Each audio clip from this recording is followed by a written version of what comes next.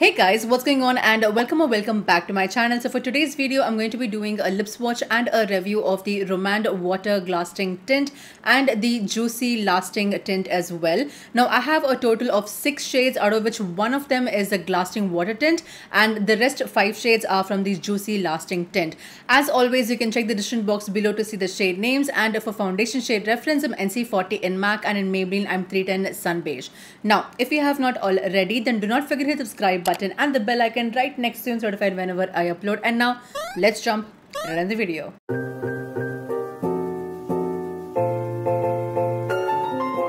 So let's go over with the features and the benefits of these lip tints. Now the first one I'm going to cover is the Glasting Water Tints. Now it says that it is a hydrating liquid lipstick, nourishes the lips, highly pigmented lip tint offers a rich color payoff, moisturizing lip color plumps the lips, long lasting lip color stays intact for long hours. Now for the features on the Juicy Lasting Tints, it says that it is a moisturizing liquid lipstick, prevents your lips from drying out, long lasting lip color that stays intact for long hours, lightweight lip tint glides smoothly on the lips, it's free from paraben and alcohol for safe use. Now these are priced at 890 rupees each for 5.5 ml of product and I picked all of my shades from Tira.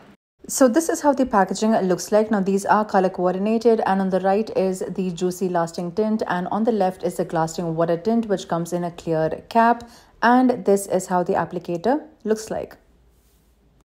And now let's finally move on to the lip swatches.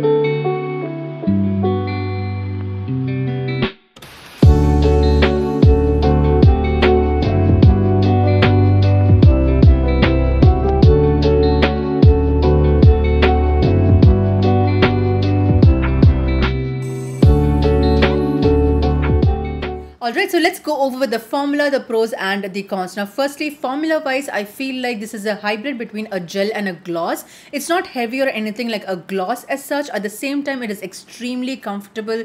It's very light and also it moisturizes the lips because when I started the day swatching these, my lips were actually a bit dry and there was a little bit of a chappiness on my lips. But this at the moment doesn't feel chappy or dry at all. Now you will have to use like two or three layers to get like the full opacity of the color and especially if you have pigmented lips like mine and also I really like the glossy look that it gives which is really really pretty. Now this is the kind of formula where the more you build it up the more darker the color kind of looks or shows and even the tint as well and the longer it stays on your lips the darker the color or the tint becomes. Now for the difference between the glasting tint and the juicy tint I feel like the glasting tint is a bit more translucent translucent compared to the juicy tint which is a bit more creamier and a little bit more opaque compared to the glasting tint. Now about how shiny they are, the glasting water tint is a little bit more glossy or shinier when you compare it to the juicy tint because the juicy tint is also shiny but not as shiny as the glasting tint. I hope I'm making sense. Oh, and also the Juicy Tints stain that also stays a little bit more longer compared to the Glasting Water Tint. Now about these being transfer proof or not, like immediately as soon as you apply it and if you're having like water or coffee or anything of that sort, it will transfer slightly. However, if you wait for a while, like right now this has been on my lips for like 15 to 20 minutes and it is kind of transfer proof, like for example,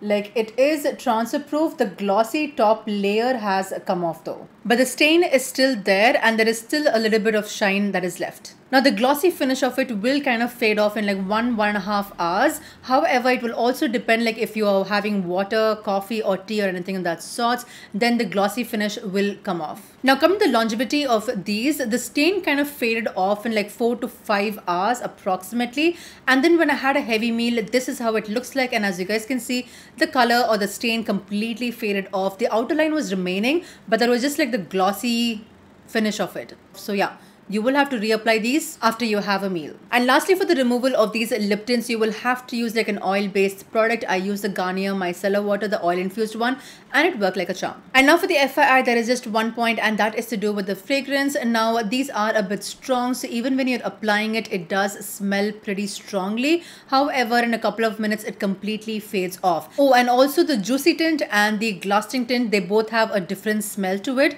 And the Juicy Tint is a little bit more stronger, smell wise compared to the glasting water tints. And now for the cons, there are two points. The first point is to do with the fact that there are no proper arm swatches available online, which is pretty common in K-beauty products that I have seen so far. They have this very heavily filtered and photoshopped picture of a model wearing the lip shade, which is really difficult for a consumer to pick and choose the right shade. So yeah, that is the first con for me. The second con is not like a huge deal breaker, uh, but that is to do with the availability because these are available only in very limited websites in India and most of the time it is out of stock. So yeah, availability is a second con. So overall, in my personal opinion, I do love and highly recommend these lip tints. Like formula wise, it is A++. It gives a lovely tint, very comfortable as well and moisturizing. I like everything about these lip tints. However, if you're planning to buy it, I will highly recommend doing more research just to make sure that you buy the right shade which will suit your skin tone because the price is a little high up there. Like for example, I bought these off of Tira like I mentioned before and I was able to use some coupon codes and get quite a bit of money off from my total order cost. So yeah, make sure the price is cheaper when you buy it. So yeah, these were my thoughts on the Romand Glasting Water Tints and the Juicy Lasting Tints as well. And this finally wraps up today's video. I hope you guys enjoyed it. And if you did, then do not forget the subscribe button and the bell icon right next to the notify whenever I upload as well as like the video and comment down below. If you have any questions or requests, I will try my best for you as well as follow me on my socials, which on Instagram and Shnair on Twitter as well. So until next time, take care. Bye.